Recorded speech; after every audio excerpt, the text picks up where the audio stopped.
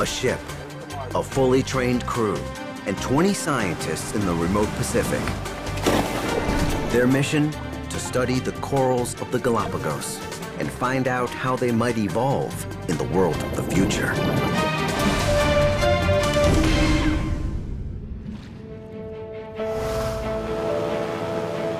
The Galapagos lie in an ocean crossroads 600 miles off the coast of Ecuador. The isolation of these islands makes them a perfect natural laboratory for studying climate change. Charles Darwin's visit here in 1835 helped form his theory of evolution and altered biologists' view of life forever. Darwin's curiosity extended to corals, though he could only see them by paddling in tide pools or dredging. Now, almost 200 years later, scientists are going where Darwin never could, to see living corals in their natural habitat.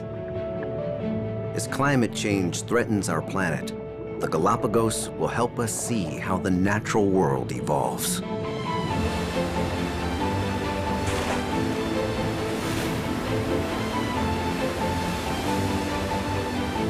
The Golden Shadow sails through the Galapagos archipelago. It's the research platform for the Khaled bin Sultan Living Oceans Foundation. Come up a quarter. The Foundation's scientists are on a six-year global reef expedition to survey the world's coral reefs. They've invited researchers from the University of Miami to join them in the Galapagos. Their first findings will be shared with the world through a groundbreaking live webcast on World Oceans Day, June 8th. We're actually connected to our Skype call right now with Captain Phil Renaud and our chief scientist, Andy Bruckner. Yo, Phil and Andy.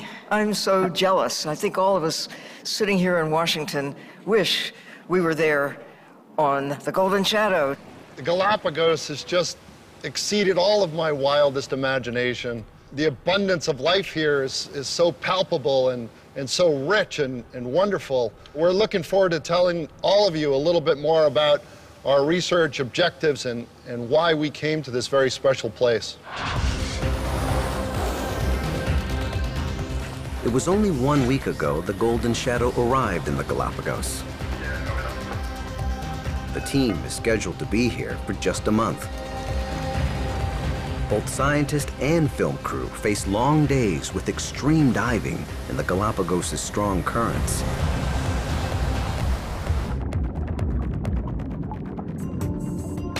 But those currents determine the variety of sea life here.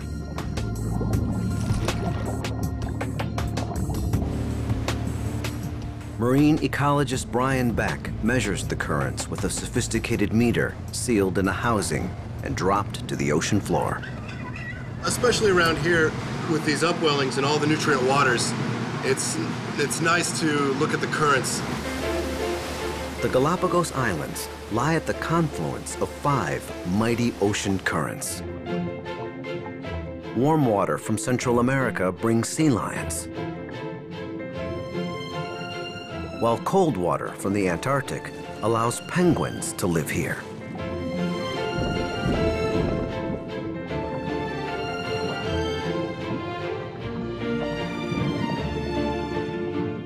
Cold water is laden with nutrients, so life here thrives.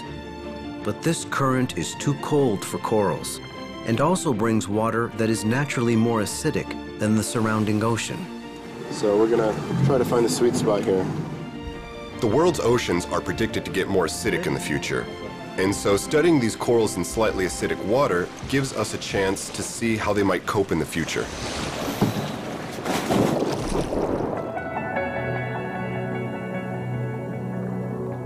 Galapagos is a microcosm that allows the scientists to study important global trends like climate change.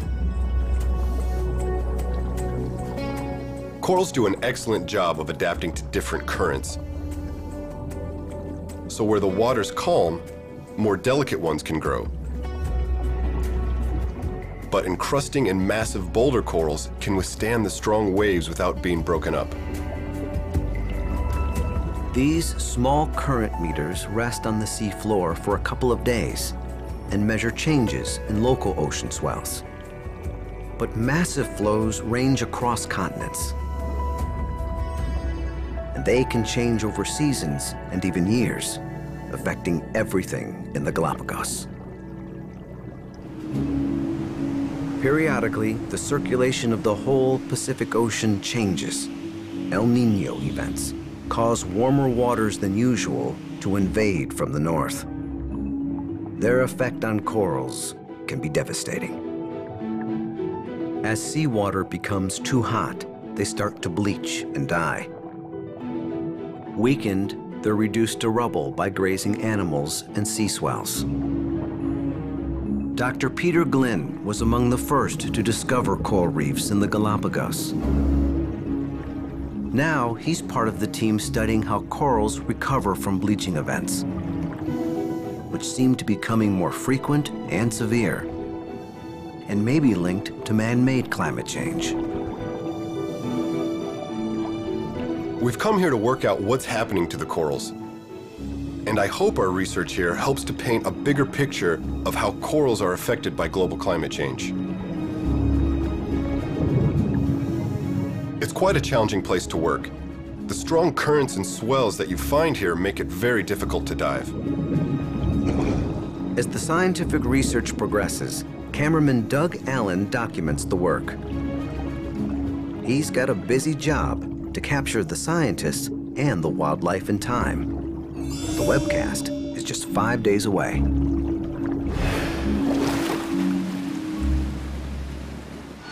I can't go this way. It's this.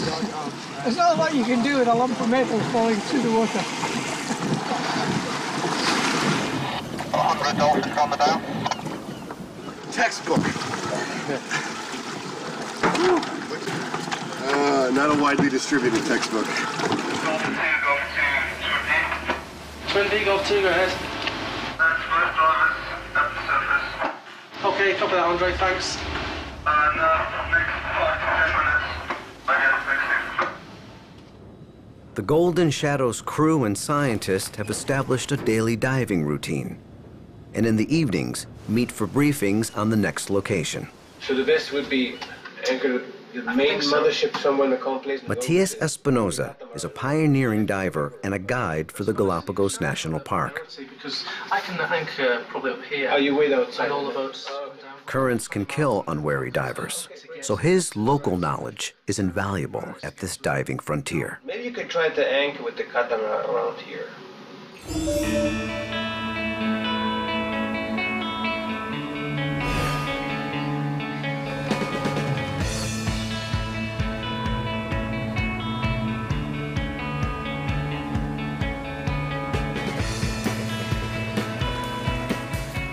The team head back down.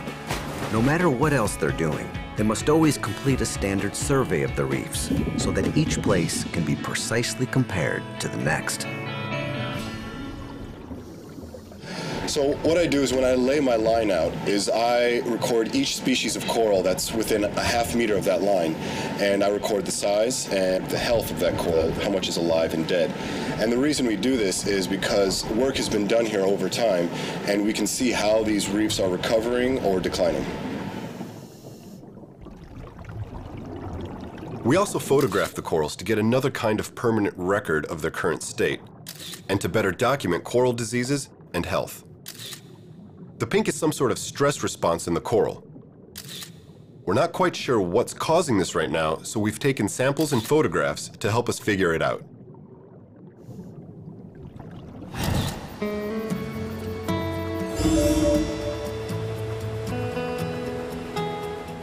The crew island hops northward through the Galapagos, toward Wolf and Darwin Island, the most isolated of the group.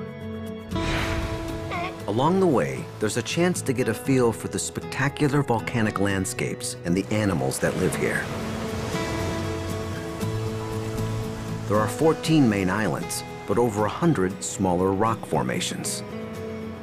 Scientific research is vital for the long-term survival of Galapagos because we are exposed to many changes even if we're far away from any kind of industry or pollution in the middle of the Pacific. The history of the Galapagos is written in the layers of its volcanic rocks.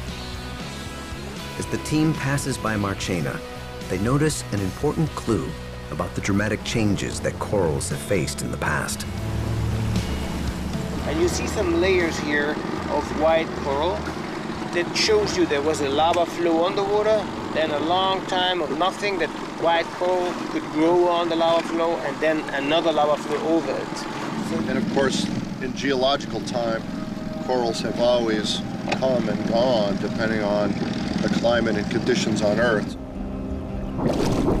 Today, mankind's activities may cause similar catastrophes on an even larger scale.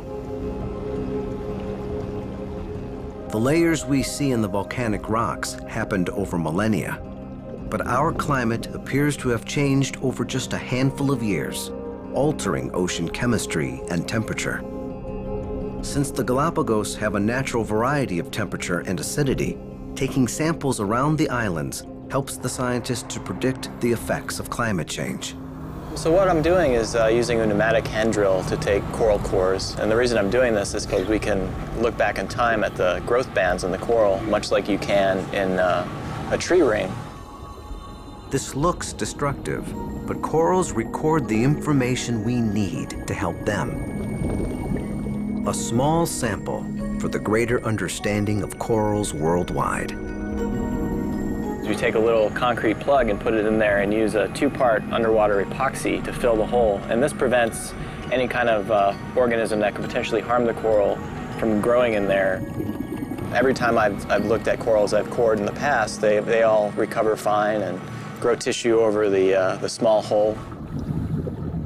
The cores are taken back to the lab, where bands reveal how well the coral has grown under different conditions. This goes back 10 years, a period that may document increasing climate change. As we go into the future, it gives us a better understanding of conditions when they change, how they will affect the uh, coral's growth rate.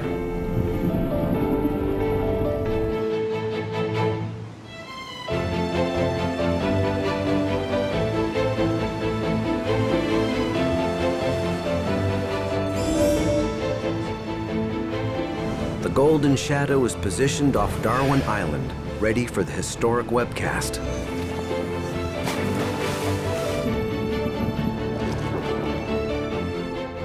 Reef-building corals thrive in the warm waters here. It's the only place in the Galapagos where true reefs form.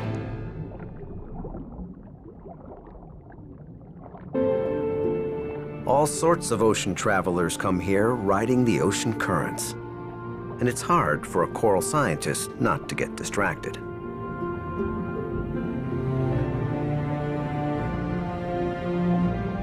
Diving around Darwin is great. There's so much to see in the water.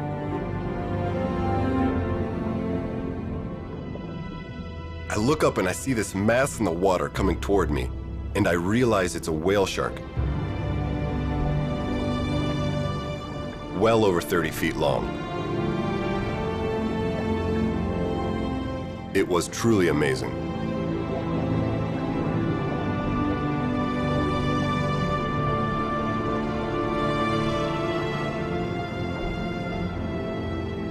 And we also see a lot of turtles around here. The green sea turtle is the most abundant in the Galapagos, which is a vital spot for their nesting.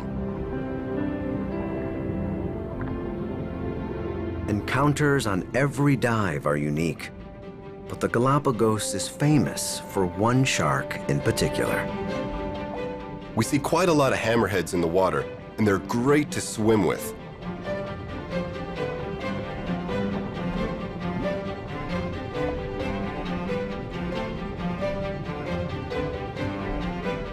There's one creature we don't like so much, and that is actually this little red creole fish. The schools of these fish are so thick that it makes photographing the corals almost impossible. The science team has collected an enormous quantity of data in just a week. with nearly 500 dives clocked up between them. From what we've seen, the health of the coral seems encouraging, but we've got a couple more weeks here, and then we need to analyze all of our data, including the samples we took of the bizarre pink spots. June 8th, World Oceans Day. The crew prepared to link across the world to the Smithsonian Institution in Washington, D.C., where marine conservation champion Sylvia Earle is waiting to connect on this special day. We're actually connected to our Skype call right now with Captain Phil Renaud and our chief scientist, Andy Bruckner, who will be on the screen here in just one second.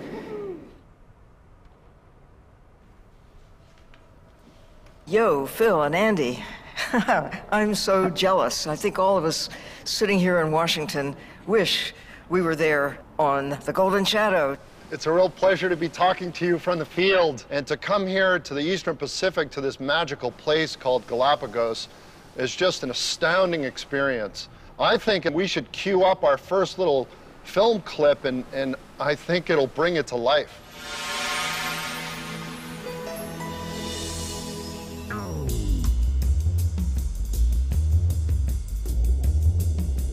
What do you think about that, Sylvia? I think Darwin would love to have a scuba tank. I understand those images are beautiful. You just took those in the last few days, right? Those were just taken in the last few days. And, and one of the amazing things is people didn't really even know there were coral reefs here until the early 1970s. So you think back, Charles Darwin, 1835, and so much work has been done out here in, with science really one of the cornerstones of our research is to understand what makes a coral reef more resilient to climate change. And if that reef does suffer catastrophic damage, what would make it recover, how fast it recovers, and what sort of factors are responsible for that? The places that we've been diving, it appears that the coral has really rebounded quickly. There's huge colonies of this lobed poor coral pretty much everywhere again now, and a lot of the other species have come back there was very little disease and everything looked quite healthy.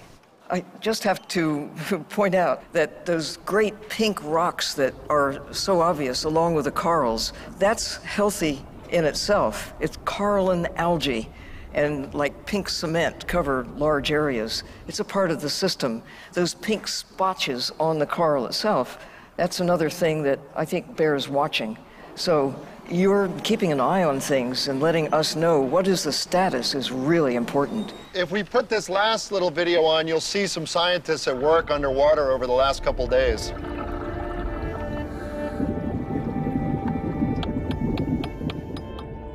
We're studying two species of Porites, DNA testing to tell the two different species apart because visually underwater they look so similar.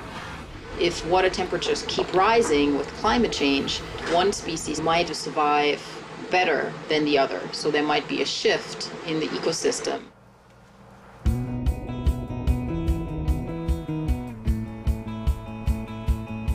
If we could capture all of these beautiful creatures in just seven days uh, on this earth, it truly is a magical place to be. I think everybody in this auditorium I think we should all salute you and give you a big round of applause.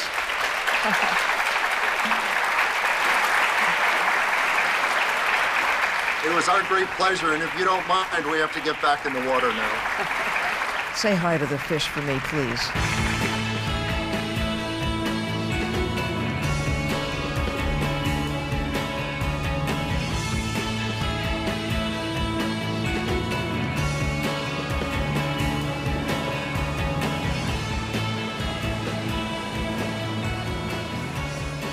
Make yourself a home, mate.